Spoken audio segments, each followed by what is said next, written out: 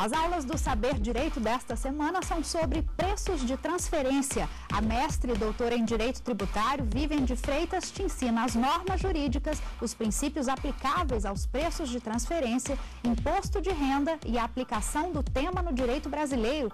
Tem dúvida sobre o assunto? Só mandar um e-mail para a gente,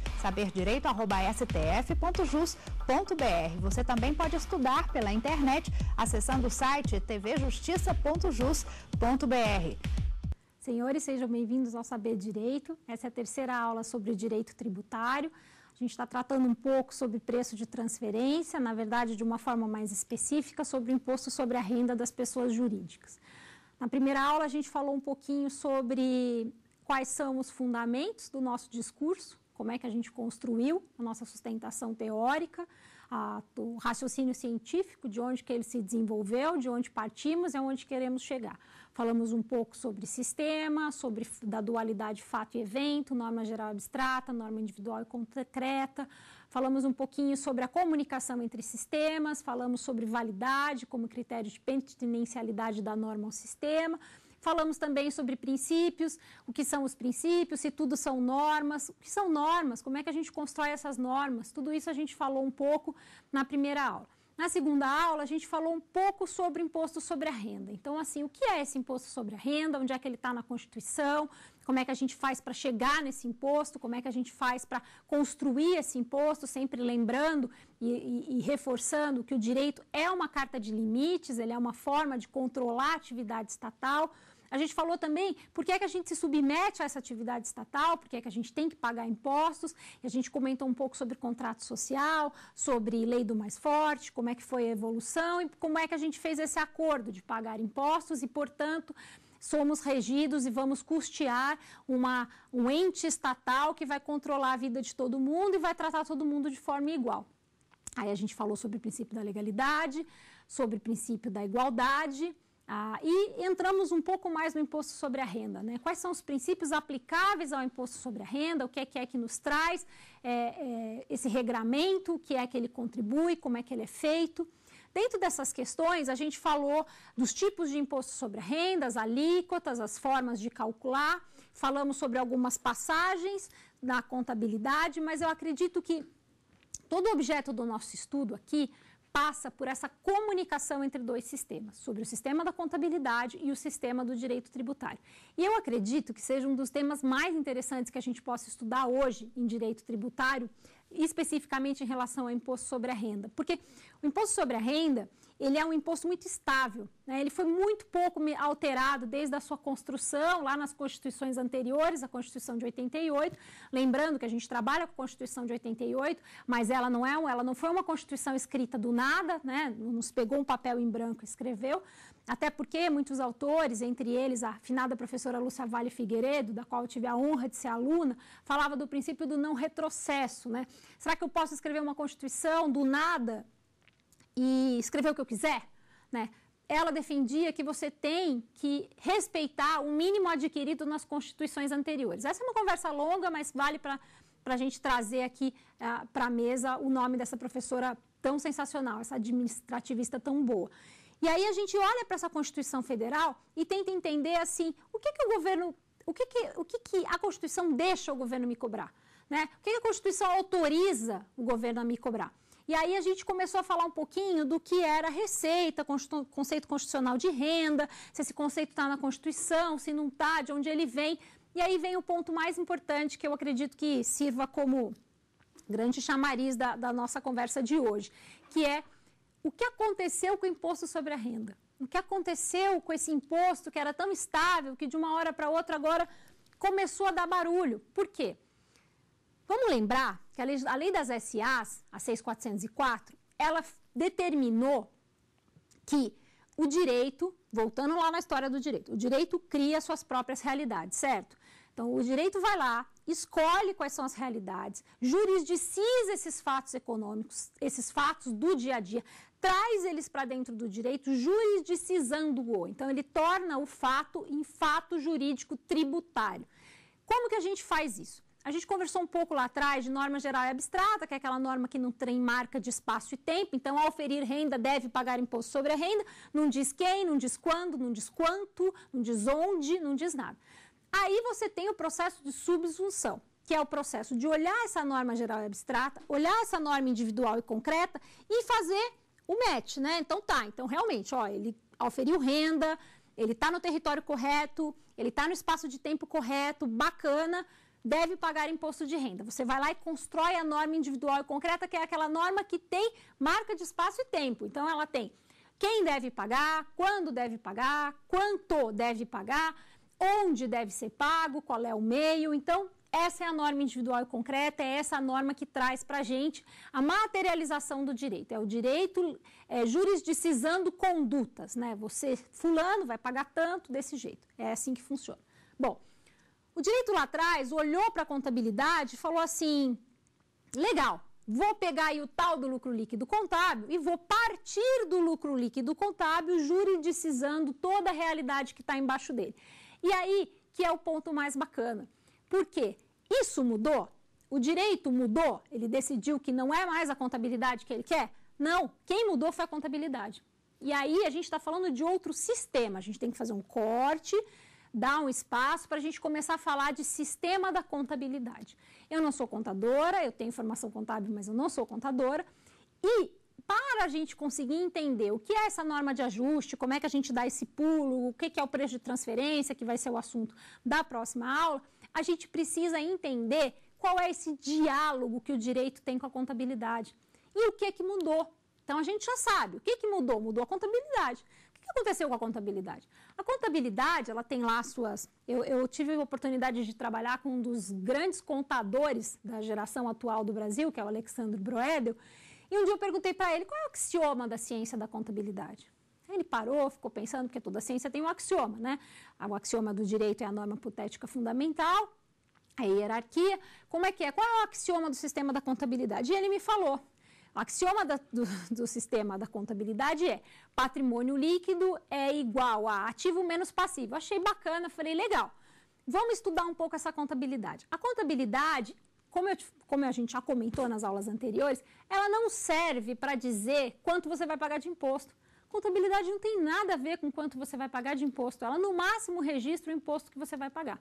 A contabilidade, o que, que ela faz? Ela tem como função apurar a mutação patrimonial das entidades. Então, não é pessoa jurídica, não é variação patrimonial efetiva produzida em determinado espaço de tempo, que é o nosso conceito constitucional de renda, é mutação de patrimônio. A contabilidade ela não quer saber se a sua mutação foi positiva ou foi negativa, ela quer só mostrar a sua mutação. O que aconteceu com o seu patrimônio líquido? O que, que é o patrimônio líquido? O patrimônio líquido é representa o valor de uma empresa sob o ponto de vista contábil, porque ela é ativo menos passivo, é o delta.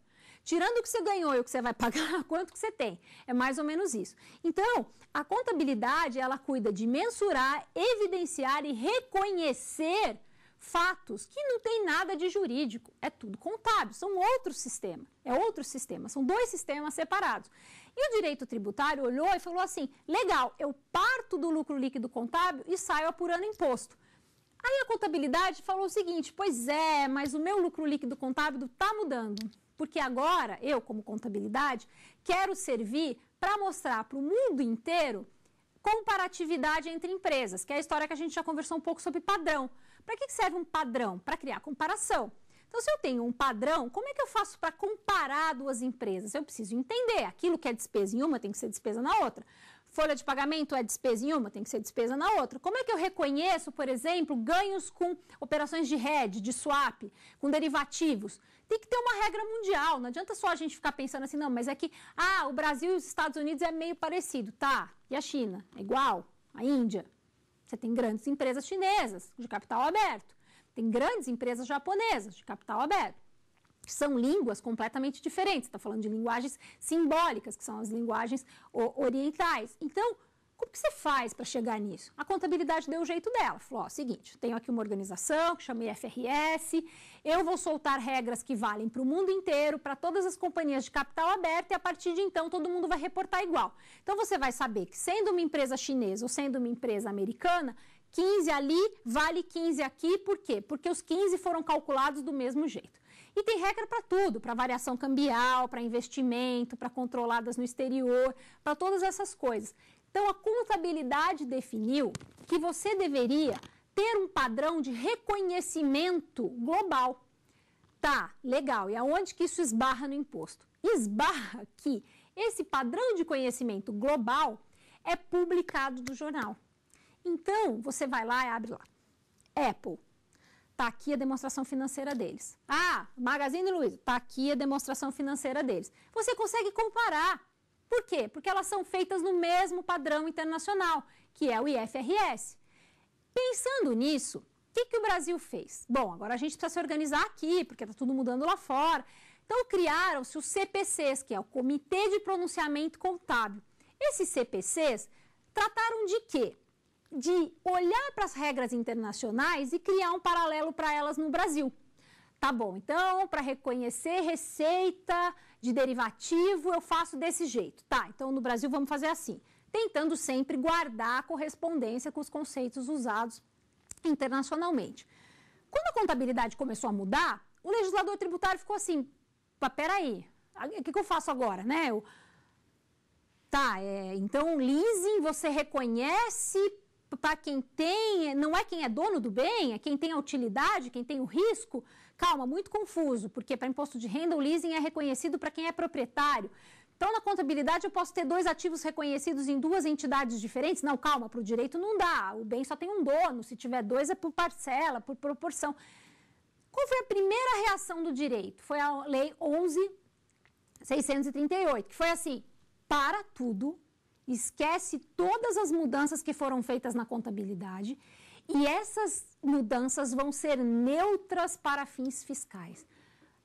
Estava instituída a bagunça, que é a neutralidade fiscal das mudanças contábeis. O que, que o legislador fez? Lembra que a gente falou lá atrás de princípio da legalidade, da tipicidade cerrada, estrita, o que não está escrito não pode ser cobrado e tudo mais?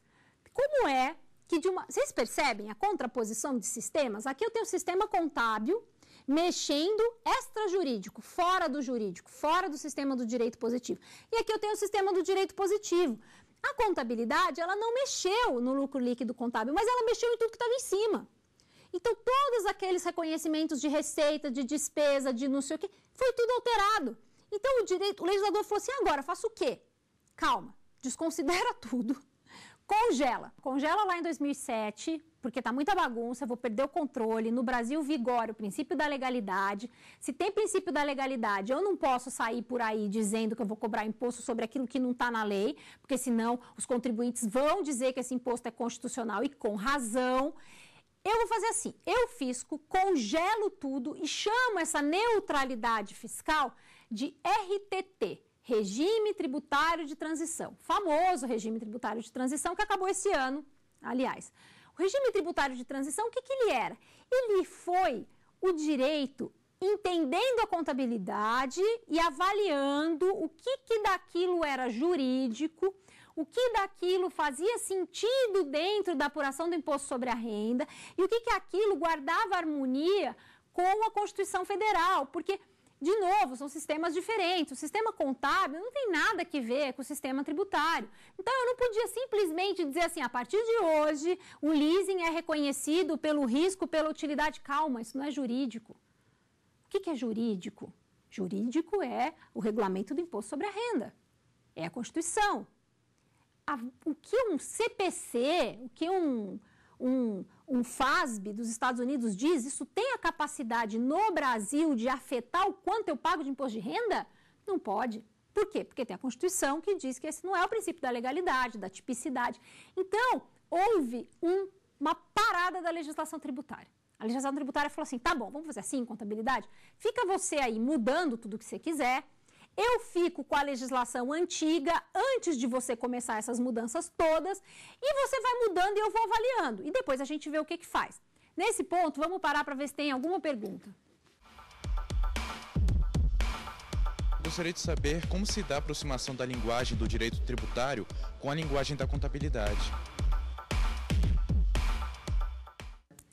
Então, aí foi bacana a gente parar nesse ponto, porque essa aproximação das duas linguagens, ela sempre existiu. Como a gente falou, o direito, ele regula suas próprias condutas, ele regula o direito determina aquilo que é jurídico. E aquilo que não é jurídico está fora do direito. Não serve, não vale, porque, de novo, direito é sistema, sistema do direito positivo, tudo no direito do sistema positivo são normas. Se o direito não jurisdicizou, não existe para o direito. Como funciona essa aproximação? Essa aproximação funciona na Lei 6.404, que é quando o direito elege o lucro líquido contábil como meio hábil de calcular a variação de patrimônio de, um, de, uma, de uma pessoa jurídica. Então, essa aproximação sempre existiu. Na verdade, a contabilidade sempre serviu o direito tributário com as suas regras. Você ia conversar com o contador, ele não queria muito saber se era justo, injusto, forma, substância, não, tá aqui, ó, tá escrito, a gente faz e pronto. E aí o direito usava esse racional, partia do lucro líquido contábil para sua apuração de imposto de renda. E aí, de novo, o que, que aconteceu? Foi o direito que mudou? Não. O direito, até 2007, congelou no lucro líquido contábil. Quem mudou foi a contabilidade. Aí o direito fez o quê? Reagiu. Calma, eu não posso aceitar aquilo que não é jurídico no mundo do jurídico. Por quê? Porque não vale né? Não, não, não performa o princípio da legalidade. Então faz assim, congela o direito à contabilidade de 2007, a gente vai vendo o que que faz. E foi muito engraçado. Por quê? Porque você olhava uma demonstração financeira de uma empresa lá, IFRS, e ela tinha um super lucro. Depois você olhava a demonstração financeira dela para imposto, né, o balanço fiscal, o lucro era menor. E aí você começava a ter algumas coisas do tipo valor justo, é, é, conceitos que a contabilidade não tinha. E todo mundo que é tributarista, né, a gente brinca que a brincadeira não, não tinha como dar certo, né? Porque é lógico que o fisco ia olhar tudo aquilo que estava sendo feito e ia pincelar tudo aquilo que aumentasse a tributação. Não foi bem assim, foram criados vários grupos de estudos e nesse tempo, o que, que a gente foi fazendo? Os contribuintes, as empresas, o fisco, entendendo essas mudanças contábeis, porque essas mudanças contábeis, elas não estavam acontecendo no Brasil, elas estavam acontecendo no mundo. Então, existiam conceitos, por exemplo, é, construção civil, reconhecimento de receita, de ferida, são coisas que no mundo inteiro estava mudando. Então, tinha que ter o tempo da adaptação da contabilidade brasileira e tinha que ter o tempo da adaptação do fisco brasileiro para tudo isso. Né? Então, o fisco foi olhando, foi tentando entender, as empresas começaram a discutir. E é nesse ponto que entrava aquelas três demonstrações que a gente conversou, lembra? Então, as empresas faziam uma demonstração e FRS fazia uma demonstração e 6404 de 2007, aquela lei lá que, que o direito congelou. Ah, o direito pode congelar? Pode, porque ele cria suas próprias realidades. Então, ele foi lá e congelou a lei lá de 2007. Então, eu fazia uma outra demonstração em 2007 e dali fazia a passagem via LALU para o que a gente chamava de DIPJ, a DIPJ, gente, na aula passada a gente falou um pouco que é um ano super crítico para o direito do imposto sobre a renda, porque você tem a entrada em vigor da ECF, que é um super acontecimento, que é a escrituração contábil e fiscal, mas a DIPJ já era isso, já era uma junção de todas as suas informações que você controlava contabilmente. Você colocava tudo isso num arquivão eletrônico e mandava para o governo. Esse ano esse arquivão chama escrituração contábil fiscal. E dessa forma veio. Então a gente ficou 2007, 2008, 2009, 2010, 2011, 2012. Aí o governo decidiu se pronunciar. Tá bom, vai, depois de seis, cinco anos, todos aqueles ajustes contábeis, eu vou aceitar esses. O que significa aceitar? Significa jurisdicizar. Eu vou jurisdicizar esses, eu vou mudar a lei, eu vou mudar o regulamento do imposto de renda, sobre a renda, e os outros eu vou continuar mantendo neutro. É, eu sei que existe muita crítica, muita discussão da forma como o governo fez, se fez da forma correta, se deveria ter feito de outro jeito. Na minha opinião, fez da forma correta, porque respeitou o que é jurídico. Né? Respeitou que você não pode.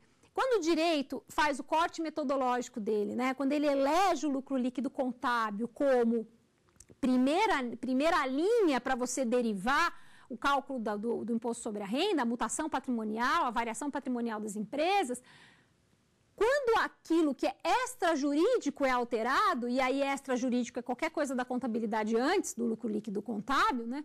Você começa a, a ter que fazer a tradução dessa linguagem para a linguagem do direito positivo. E nesse ponto a gente entra num, num acho que vale um parênteses importante do, do conceito de tradução. Né? Willem Flusser, ele escreveu sobre língua e realidade, e ele era um tcheco que falava cinco línguas, e o livro é excelente, ele falava o seguinte, como é que eu faço para passar de uma língua para outra, para fazer a tradução de uma língua para outra? Não faz. Entre uma tradução e outra não há nada, né? há o caos. Então, basicamente, você está lidando com categorias do pensamento para poder construir uma realidade usando uma linguagem que não é própria daquela realidade, que é o caso da linguagem contábil. Então, a aproximação das linguagens, ela sempre existiu. Você vai encontrar várias referências no direito positivo, especialmente na legislação 6404, sobre a contabilidade. Então, tem hora lá, por exemplo, né, tem um artigo interessante, que é o artigo 14 do Código Tributário Nacional, que fala da da imunidade das pessoas jurídicas e fala assim: manter documentação contábil. Por quê?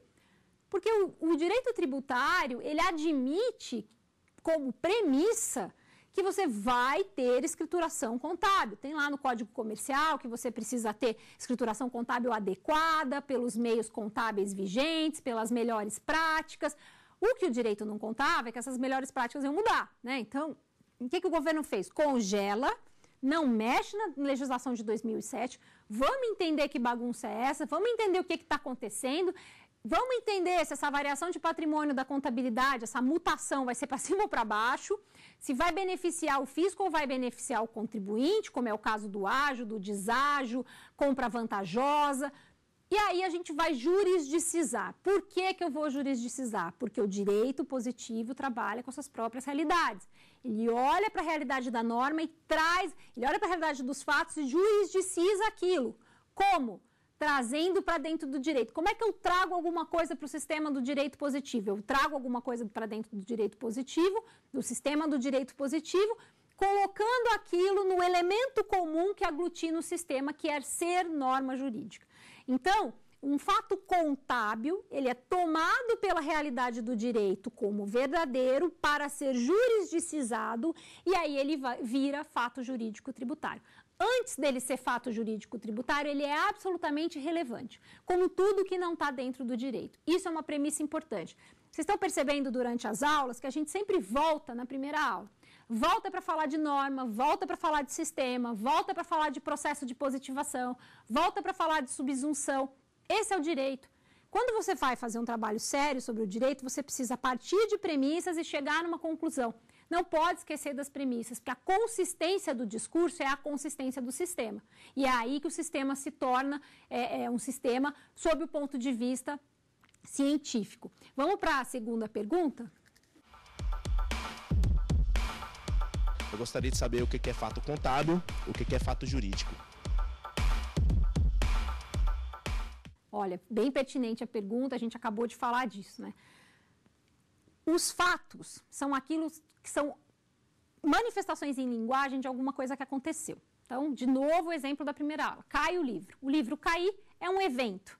Eu contar que o livro caiu é um fato. É um fato social. Eu estar aqui hoje é um fato social. Por quê? Porque não é jurídico. Não é jurídico por quê? Porque é irrelevante para o direito.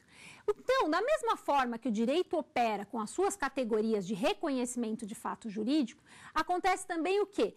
A contabilidade tem suas próprias formas de, receber, de reconhecer o fato contábil.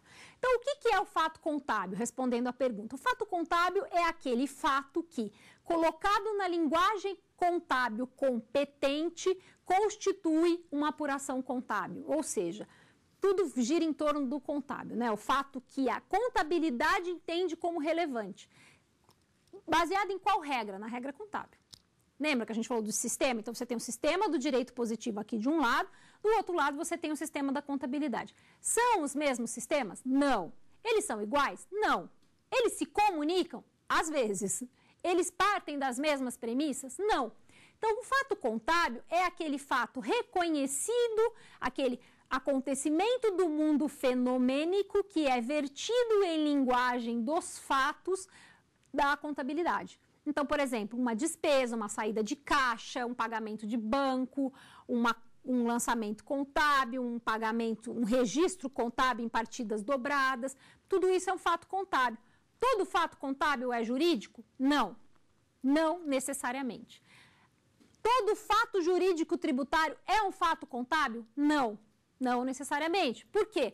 Porque eu posso ter, por exemplo, a gente está aqui falando de imposto sobre a renda. Imposto sobre a renda é bacana, né? tem bastante diálogo entre a contabilidade e o direito, eles conversam, é interessante.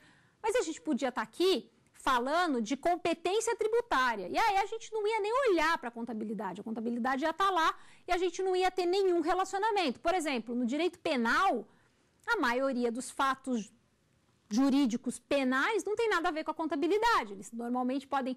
As comunicações são com outros sistemas, né? Então você tem lá no direito penal o sistema das provas. É um outro diálogo. Então, fato jurídico contábil, ele é um fato relevante para o direito tributário só se ele for jurisdicizado. E o que isso quer dizer? Só se o direito olhar para o fato jurídico contábil e jurisdicizá-lo. Prever este fato jurídico no antecedente de uma norma individual e concreta. Nossa, agora a gente entrou em antecedente consequente. Vamos falar um pouquinho de antecedente inconsequente. A norma jurídica ela é composta pelo antecedente e pelo consequente. No antecedente, eu tenho critério material, critério temporal critério espacial. No consequente, eu tenho é, base de cálculo, alíquota, critério quantitativo. Ou seja, eu tenho o antecedente e o consequente C, A, e então deve ser B. O que está ligando o antecedente e o consequente? O, a causalidade jurídica. É a causalidade jurídica que liga os dois. No fato, no antecedente da norma geral e abstrata, que é aquela norma que a gente comentou, que não tem nenhuma marca de espaço e tempo e tudo mais, lá você tem fatos de possível ocorrência no mundo fenomênico. Pode acontecer. O fato de não acontecer nunca muda? Não, não muda nada. A norma continua sendo válida, a gente já falou. o direito trabalha com validade e invalidade não tem nada a ver com justiça, acontecer, ser injusto e tudo mais. Então, quando que o fato contábil se torna fato tributário? Quando o direito olha para esse fato contábil e prevê ele no antecedente de uma norma geral e abstrata. Então, no antecedente de uma norma geral abstrata, tem que estar previsto aquele fato, como de possível ocorrência. Então, se acontecer aquele fato, então deve ser a consequência. Então, o direito acha esse fato relevante e ele entra no mundo jurídico como Aquele fato de possível ocorrência, sem marco de espaço e tempo, sim, ele é um antecedente de uma norma geral abstrata. Mas o fato jurídico tributário, ele é o fato que aconteceu, que tem a marca do espaço, que tem a marca do tempo, que tem exatamente quando é que você tem que pagar, por que é que você tem que pagar e tudo mais. Então, no final do dia, a relação entre fato jurídico e fato contábil ela existe na medida em que o direito alcança outros fatos de outros ramos, de outros sistemas e jurisdiciza esse, esse fato, trazendo ele para dentro do direito. Então, no final do dia, você tem a contabilidade como suporte para a apuração do imposto sobre a renda das pessoas jurídicas. Em que sentido? A contabilidade, então, ela entra no direito? Não hipótese de incidência, como dizia, dizia o professor Lourival Villanova, é a porta de entrada dos fatos para o direito. Então, aquele fato só é jurisdicizado quando ele entra pela hipótese de incidência de uma norma individual, eh, geral e abstrata. Esse é o ponto mais importante. Então, no final do dia, retomando, a gente precisa criar uma relação de pertinencialidade das normas contábeis com o direito tributário. Isso acontece quando eu tenho a jurisdicização daquele conteúdo. Né? Então, eu olho para aquele conteúdo e eu decido que eu vou jurisdicizar aquela norma. Então, o lucro líquido contábil, que é o nosso ponto de partida, ele não é jurídico, mas ele passa a ser jurídico quando ele é o ponto de partida dos ajustes que a gente passa a fazer. Só para dar um pouco mais de conteúdo histórico para vocês, de background, a gente teve lá em 2007 a 11638 que congelou as normas contábeis e de lá para cá a gente veio com um monte de mudança em norma contábil, um monte de discussão, como é que fica, o que é neutralidade fiscal, neutralidade fiscal atinge, não atinge, né? Porque ficava aquele monte de gente maluca nas empresas, né? Então tá, então para fins de FRS eu reconheço o RED de um jeito, mas aí eu faço uma passagem dele para cá, Para a legislação societária, eu tenho que botar no F-Conte, como é que eu faço o F-Conte? Aí, para a legislação fiscal, esse ganho é variação cambial, não é variação cambial, como é que eu faço para reconhecer? Ficamos nessa toada aí muitos anos. Então, das normas contábeis que foram alteradas, quais são as normas que eu vou conseguir reconhecer, o que é que vai ser jurídico, o que é que vai ser extrajurídico, como é que a gente controla isso, como é que a gente reconhece isso, e mais, se isso vai servir como elemento no seu cálculo do imposto sobre a renda. Porque, de novo, Existem dois tipos de obrigação tributária. Existe a obrigação tributária de pagamento do imposto e existe a obrigação tributária que são chamados deveres instrumentais. Lembra quando a gente estava falando de pessoa física, que a gente falou assim: olha, você pode até não pagar imposto, mas declarar você tem que declarar todo ano? Então, você tinha que fazer uma harmonizar as regras do direito não só para fins de pagamento, mas também para fins de reconhecimento, de declaração de deveres instrumentais. Então, nesse ponto, o fato jurídico se torna contábil quando eu vou alcançar esse fato jurídico pela porta aberta, que é a hipótese de incidência de uma norma geral e abstrada, que é a porta de entrada do mundo jurídico. A gente pode ir para a última pergunta.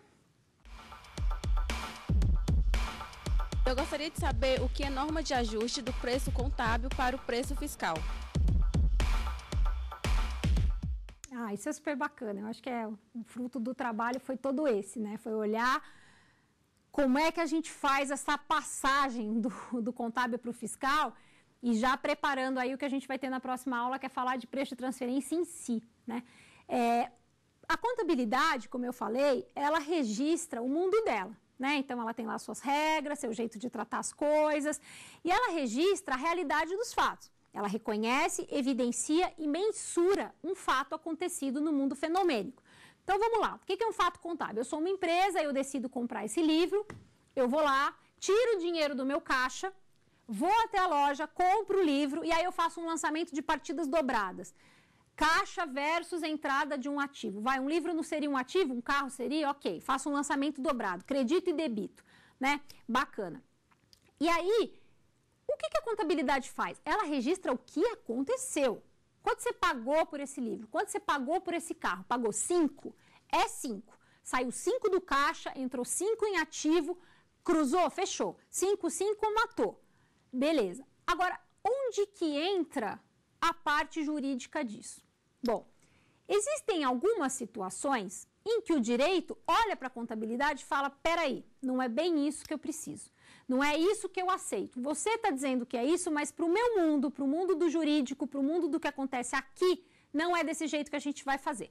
Vou dar um exemplo para vocês, não vou usar preço de transferência, que é para não, não, gastar aí o, a gente não antecipar muito o conteúdo da próxima aula, mas, por exemplo, normas de subcapitalização. Oh, o que é isso, normas de subcapitalização? Normas de subcapitalização é uma norma de ajuste de imposto sobre a renda que diz o quê? Meu amigo, você tem um limite para se endividar com você mesmo no exterior. Então, você está aqui, você é dono dessa empresa, você é dono de uma empresa em outro país e você fica fazendo empréstimo entre uma empresa e outra, né? Tem uma aqui, uma no Uruguai, vocês ficam fazendo empréstimo. E o empréstimo, para fim de legislação de imposto sobre a renda normal, ele é dedutível. Tá? Então, ele reduz o montante que o nosso sócio governo vai receber. Então, o que, que ele diz? Ó, vamos fazer assim? Eu não sei quanto é que você emprestou aí na vida real, mas eu, para calcular o seu imposto sobre a renda, só vou aceitar 30%. Aí a gente entra na seguinte situação: a contabilidade vai registrar quanto? Vai registrar exatamente quanto ele emprestou. Saiu 30 do caixa, ele mandou 30 para outra empresa. Quando eu for fazer, esse é o fato contábil, é como a operação realmente aconteceu. Quando eu faço a passagem disso para o direito tributário, eu vou lá e ajusto, falo assim, não, apesar da contabilidade dizer que ele deve, que ele emprestou 30, para fins tributários, eu vou considerar esse fato jurídico tributário só 10.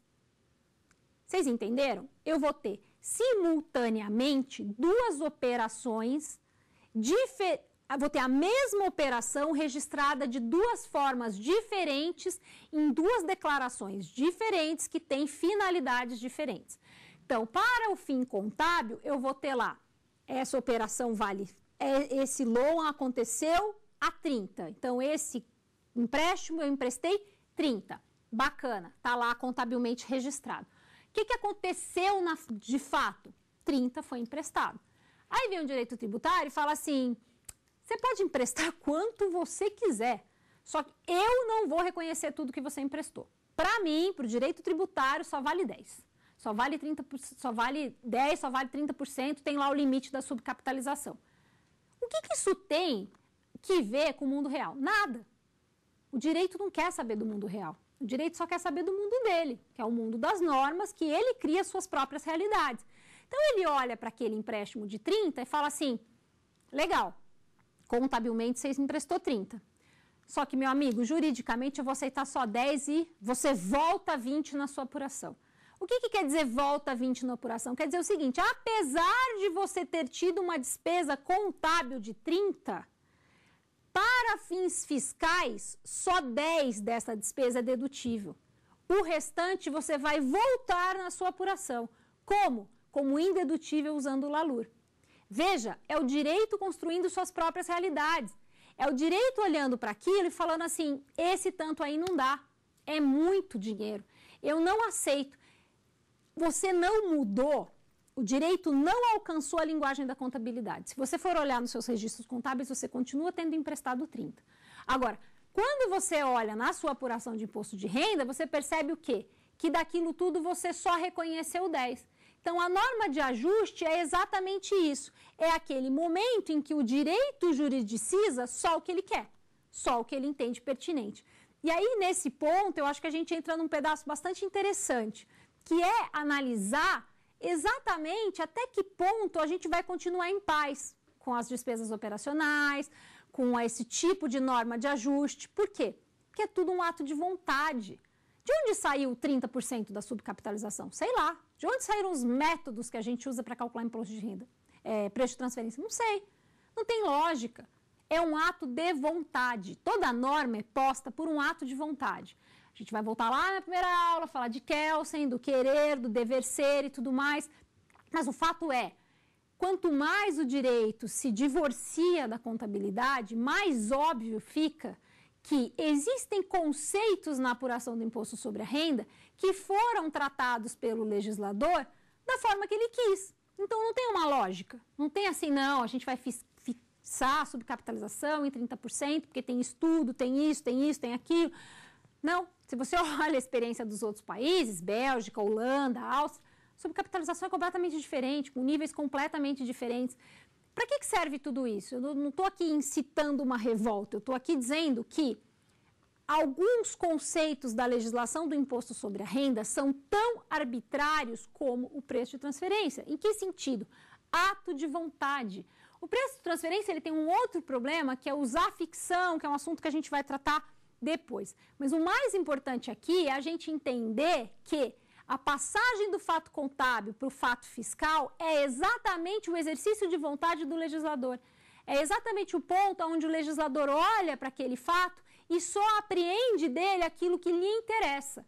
E aí, como que a gente faz esse cheque, se isso... Vamos lá, como é que eu digo se uma norma de subcapitalização é constitucional ou inconstitucional? Ela nem é uma norma completa em sentido deôntico, ela é uma norma em sentido amplo que contribui para o cálculo das pessoas jurídicas. Vejam a gravidade disso. Então, a gente está conversando sobre questões que têm impacto no patrimônio das pessoas jurídicas, mas poderia ser muito pior. Elas poderiam ser fixadas com níveis de arbitrariedade ainda maiores. E é exatamente isso que a gente tem que começar a avaliar pós-IFRS, pós-RTT. Será que estamos trabalhando com níveis corretos de fixação de norma? Será que essas normas fazem sentido? E, e, alguma coisa dentro do direito faz sentido? Não, alguma coisa dentro do direito ou é constitucional ou é inconstitucional. Então, fazer sentido dentro do direito significa o quê? Será que uma norma de subcapitalização performa o princípio da legalidade? Ah, performa, porque ela foi posta por meio de um processo competente. Legal. Será que ela performa o princípio da igualdade? Não, performa, é 30% para qualquer pessoa jurídica que tenha um, um empréstimo intercompany. Legal. Será que ela respeita o princípio da capacidade contributiva? Será que ela respeita a, a progressividade? Será que ela mantém é, coerência com variação de patrimônio? Será que em algum momento ela justifica que o resultado dela, o produto, lembra, o direito não controla o processo de produção, ele controla só o produto. Será que controlando esse produto, ele mantém coerência com aquilo que é renda constitucionalmente entendida como aquilo que se pode tributar? Aquilo que o imposto sobre a renda pode alcançar?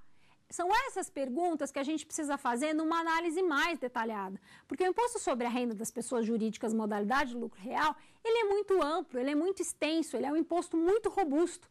Quem já trabalhou em empresa sabe que a apuração de um imposto sobre a renda é extremamente complexo, envolve todos os ativos, todos os passivos, toda a movimentação de caixa, todo o pagamento de funcionário, todo o pagamento de fornecedor, toda a atividade financeira entendida como receita financeira, operações de derivativos e tudo mais. Será que todas essas pequenas normas que lá na regra matriz de incidência da Constituição definiu-se que se pode tributar variação patrimonial efetiva num determinado espaço de tempo, será que quando essas normas são reunidas elas perfazem esse conceito? Essa é uma pergunta que acho que daqui a cinco anos a gente ainda vai estar discutindo. Por quê? Porque a gente está começando a viver a separação do direito da contabilidade. A gente está começando a viver essa diferença das coisas. Antes a gente achava que as coisas tinham lógica porque elas estavam na contabilidade. Não, vai ver que faz sentido lá na contabilidade. Será que continua fazendo sentido quando ela se torna jurídica? Quando ela pega essa porta aberta da hipótese e entra? Será que aí faz sentido? E aí, de novo, fazer sentido para o direito significa guardar harmonia com a Constituição Federal.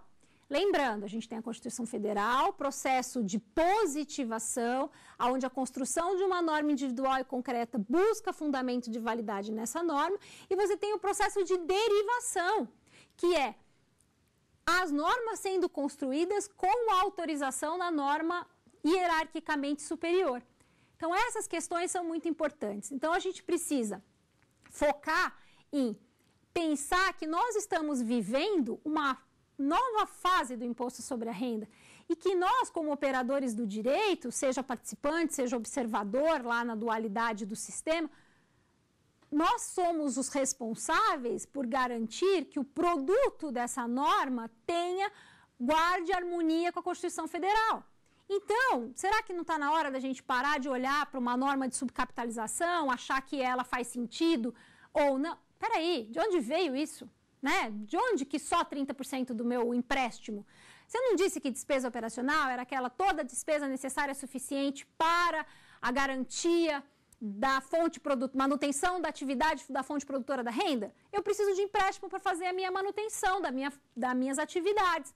Será que faz sentido o governo glosar esse, essa despesa e falar só vale 30%? Essas são perguntas que a ciência do direito está aqui para responder. E é, perguntas, são perguntas como essas que vão enriquecer o diálogo do que é o imposto sobre a renda.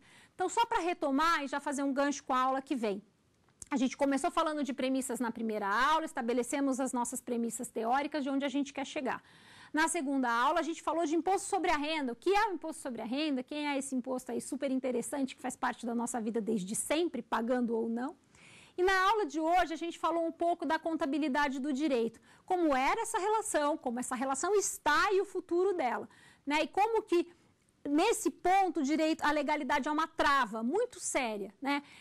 A contabilidade pode fazer o que ela quiser. Nada disso vai entrar no mundo do direito se não for pela porta da hipótese de incidência, do antecedente de uma norma geral e abstrata. Então, nesse ponto, é o direito reafirmando que ele é sistema, que ele é ciência, que só ele cria suas próprias realidades. Então, na próxima aula, a gente vai falar um pouco do preço de transferência, que é uma norma de ajuste, mas sempre voltando nos conceitos das aulas anteriores. Obrigada. Tem dúvida sobre o assunto? Só mandar um e-mail para a gente, saberdireito.stf.jus.br. Você também pode estudar pela internet acessando o site tvjustiça.jus.br.